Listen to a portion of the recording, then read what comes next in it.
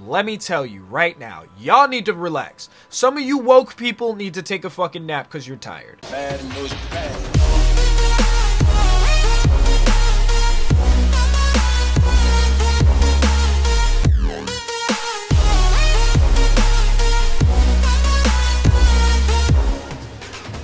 What's going on, everybody? Your boy Jay is back in the building, and today we have another episode of Canon Culture. So, the show where basically I talk shit about all the stuff that is going on everywhere, period, at all. I'll also give a little bit of entertainment commentary and then teach you guys some life lessons. So, today, um, I'm not live streaming this episode, which I normally live stream them all, but I'm not live streaming this one because I'm still currently banned on YouTube and they refuse to answer any emails, text messages, phone calls. They're just not really good about returning anything at all. So they had my live stream revoked uh, since last week because I was live streaming the podcast with Heavenly, and then they just shut my stream down and then revoked it. And then I didn't receive an email why. I don't have any strikes on my channel, so I'm just confused as to what the fuck is going on over there at YouTube. I think they just don't know what the fuck they're doing. I don't think anybody over there knows what the fuck they're doing. So, um, unfortunately, I've been live streaming everything on Twitch. So, if you don't follow me on Twitch, make sure you go ahead and do that. Also, make sure to scroll down to the description section and follow me on all my social media, just in case you guys don't get my notifications when I upload and stuff. Uh, also, uh, new merch is available for season two of Canon Culture.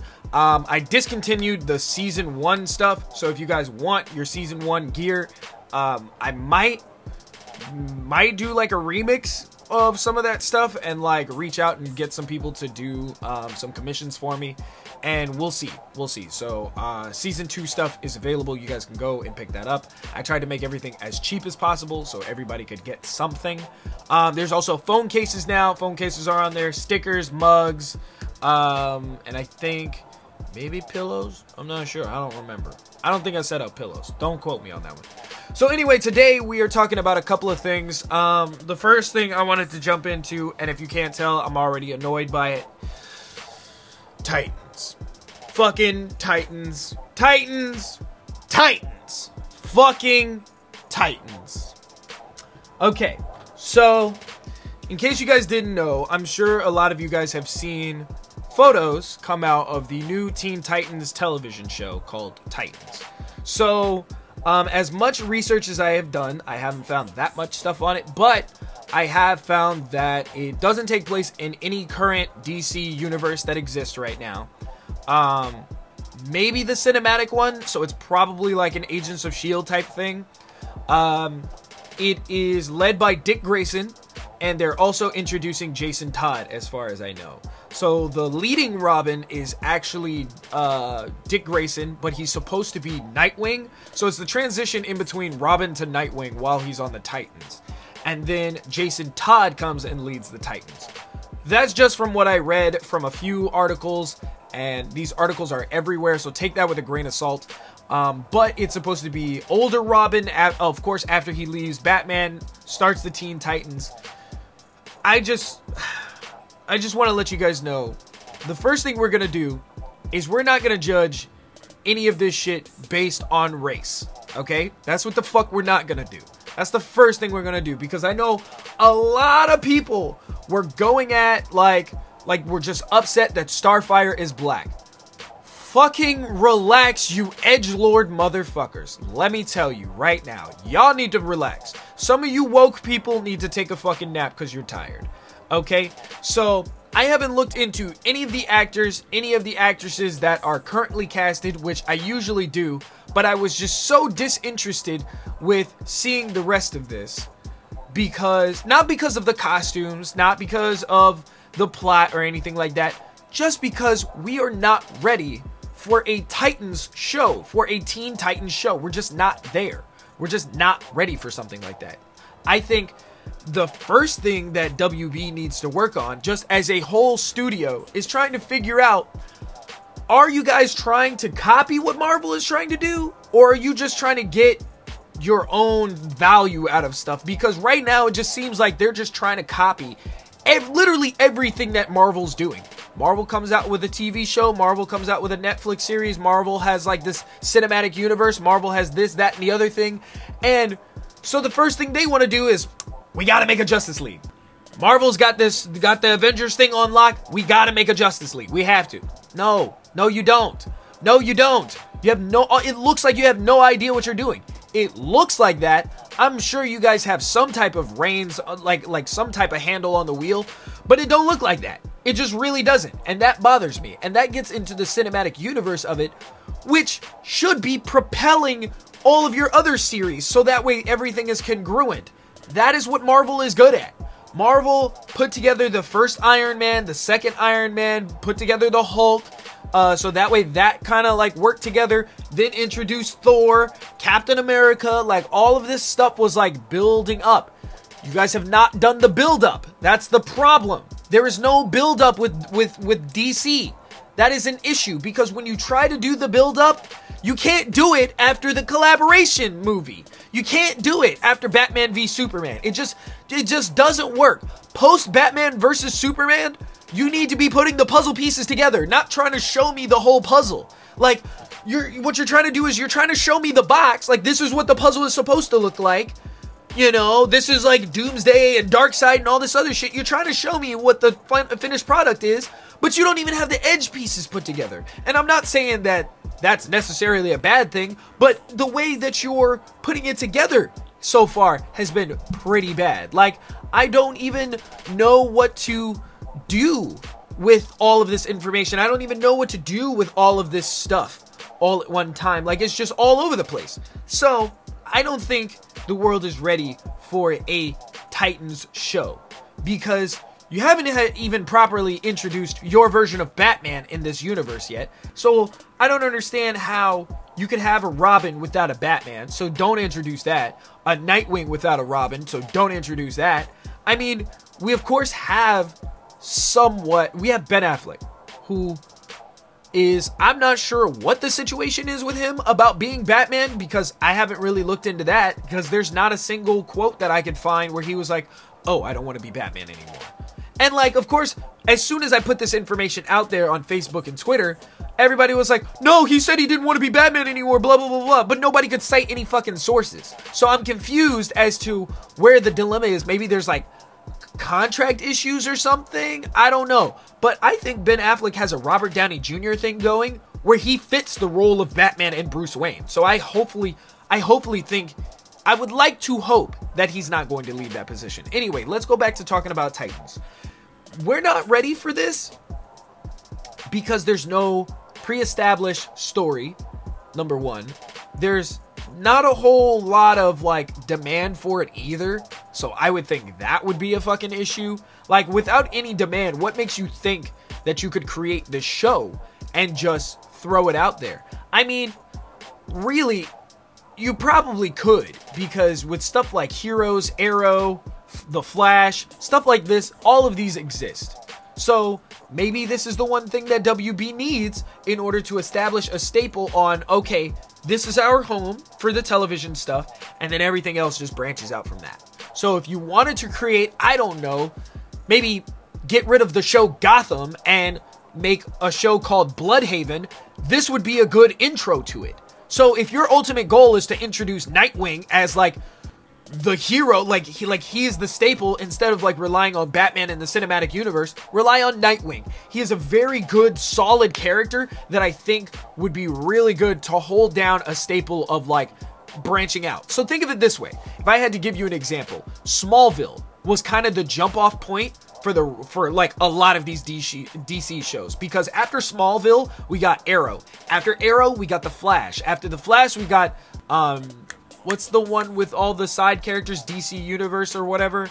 You guys know what I'm talking about. So like without one show after the other, you wouldn't have had a build up to this. So you, we wouldn't have had Gotham come out. So, you know, just all these other things exist. So what I'm saying is I think we're number 1 not ready for this show and B not ready to establish a solo lead as far as like this is who we're basing everything off of. Now, if this guy playing Robin is good enough and I think you could probably build a show off of that, which really you could build a show off of any actor because as long as you just push them to their limit, like just push them to to the best of their abilities, the best of their career, it would be great to establish the Titans first. And with this show, you also take the time to build up Robin and Starfire's relationship, if they even have one. Uh, Raven and Beast Boy. I don't know if they're going to introduce Cyborg in this. They may introduce Speedy. They may introduce Aqualad, or may, they may might go the Young Justice route and do like uh Superboy. They may do. They may put uh, what's her name? Is it Kara? Or whatever the fuck her name is. I don't know.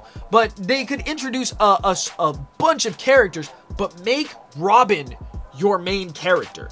Like, he is not like main character as far as like perspective, but introduce him as like he's clearly the leader. He is clearly the lead. Like, anytime he is on the scene, it's like yo, we have to pay attention to him. Make a lot of his things that he does very impactful for the rest of the team. Introduce the Red X storyline from the cartoon. Introduce um the his uh kind of like quarreling with a lot of like major villains and stuff like that in the DC universe. That would be something that I would like to see. And then after that, make it to where it'll get a point like hopefully the show is good enough to last 4 or 5 seasons. Make it get to a point to where Robin decides I want to go off by myself. And that just leaves the rest of the Titans. Then you can introduce Blüdhaven, which is your Nightwing storyline. And he can have his own villains, he can have his own adventures and stuff like that. And Nightwing then becomes your jump off. And your jump off is your point to where you can introduce characters into this television series that'll either eventually end up in the cinematic universe or would eventually have crossover episodes with the Titans. So now you can have two successful shows instead of one by just building up one character. And that's not even if you want to develop like a Trigon type of story or if you want to introduce uh, any new characters like Beast Boy against the Brain, or if you want to have the Flash cameo, you can do that. Where Robin, uh, uh, you know, like calls in for assistance one day, and Batman's like, "Well, I can't, I can't be there myself." Or uh, you know, let me just send somebody. And you can have Arrow, you can have the Flash, you can have tons of characters be introduced this way. So I'm just saying it's a cash cow and you need to work on it. So I'm not even gonna comment on like all the costumes and the, the the choices for actors and stuff because I feel like the internet is going to beat that like a dead horse, and that's not the position I hold like at all. Especially not as a young aspiring actor. I don't want to shit on somebody else's performance when I haven't seen it, so it wouldn't even make any sense. And I'm definitely not gonna shit on a show that has clearly a strange direction, but there's nothing wrong with it. Everybody has an artistic expression to the way things are written and the way things are directed and the things that are presented in front of you. So all I'm saying is let's wait for the show to come out. Then we can talk shit about it, okay? So until then, I don't really want to hear shit. So if you guys have any questions, comments, concerns, please leave those down in the comment section. I'll be addressing those specifically on this video. And if they're dope and I think you introduce a good point, I'm going to make a video about it. I definitely, definitely want to keep this conversation going, especially as somebody who would love to star, write, produce, direct a show or a movie.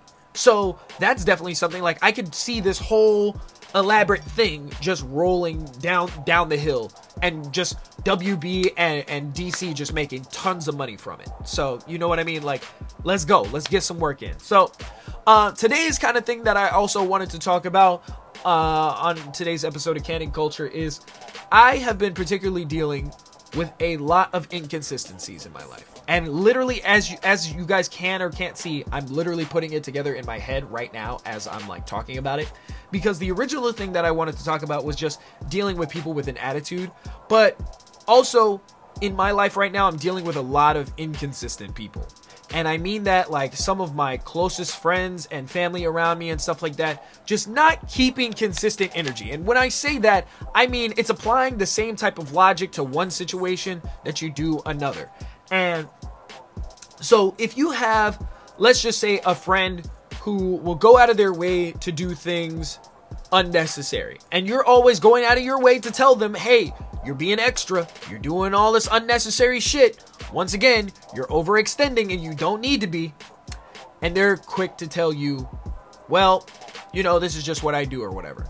And then the one time that you go out of line or the one time that you do something extra, they got a whole lot to say. And I just want the energy to be consistent throughout these people. Or maybe that's a bad example. Let's try, say you have a friend who decides they don't want to talk to you no more. Or they don't want to participate in the same activities that you've been doing. But they're they've been like you're kind of like going along with you the whole time. And it's not like the type of activity that you're doing. It's just you specifically that they're just like, you know what?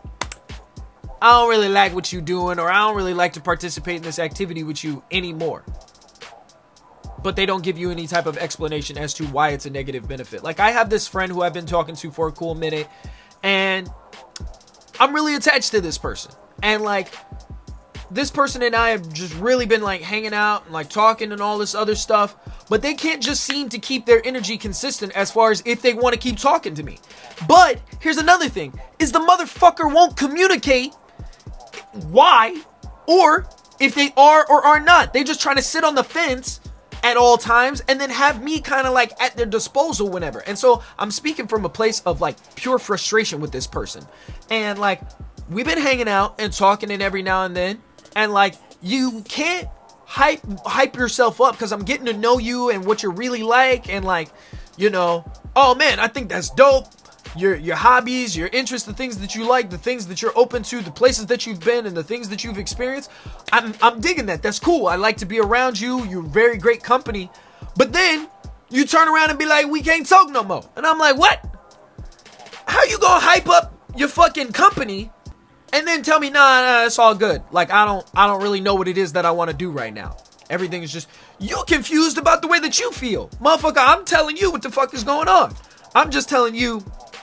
Listen, I like hanging out with you. It's been dope. It's awesome. Just want to keep it that way. If you don't know what the fuck is going on with you, you should probably say that. Like that's that's a breakdown of communication. Like if two adults are not communicating, and one is not saying, "Hey, I can't communicate with you because A, B, C, and D." Motherfucker, I'm not a I'm not a mind reader. How do you expect me to read your mind? I'm confused. So, you know, that's just how I've been feeling about that shit lately. And I think the amount of consistency that is not kept between human beings is just really fucking annoying. It just really is. And I can't I can't take that shit. I don't have the time, the energy, or really, to be honest with you, the fucking patience or the mental stability to deal with adults that don't communicate. Number 1, and number 2, hyping up this level of consistency that I'm used to hanging out with this person, then all of a sudden it's just like I'm not really sure what I can do right now. Like this isn't me or I don't do this type of thing. You was doing that shit two days ago, nigga. Two, literally 24 hours ago. So I don't understand what's changed. I don't know either. I just want to be inconsistent. So the moral of the story that I want to tell you guys is anytime you have some wonky, flip floppy motherfuckers like that in your life, the first thing you need to do is communicate with that shit. Like, address that shit immediately. Like, this is not something that I can deal with, first of all. Like, I don't know how anybody else does it. So, I'm even gonna apply that same, this same energy and this same logic towards this person today when I see them. And I'm just like, yo, the fuck you doing? That's that's it. That's all I got. And uh, I just want to let them know because they watch my videos, because I know you do. Uh, number one, I'm gonna need you to keep your shit consistent. If you wanna still hang out and like all this other shit and have all these activities and, and just whatever and just keep it cool and casual, motherfucker, let me know.